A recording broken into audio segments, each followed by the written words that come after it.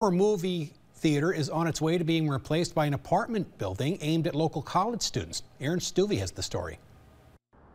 In January, the AMC Theater near the campus of MSU Mankato permanently closed. Later that month, a proposal was sent to the city's redevelopment commission to redevelop the property into apartment buildings aimed at students. Now that proposal is in the tax increment financing phase, and it is becoming increasingly likely that the theater will be demolished to make way for a new five-story apartment building. So the project will be the removal of the uh, former movie theater and a small portion of the existing mall commercial space and replacement with a 59 unit uh, apartment building. Construction is expected to begin this summer, should the project pass through the required red tape. The new building would add another option for students seeking housing in the area, a demand that is steadily increasing as enrollment increases at the college. Local experts say that the demand for housing continues to rise across the area and that redeveloping commercial space is just one way of addressing the issue. When you look at housing in general across the community,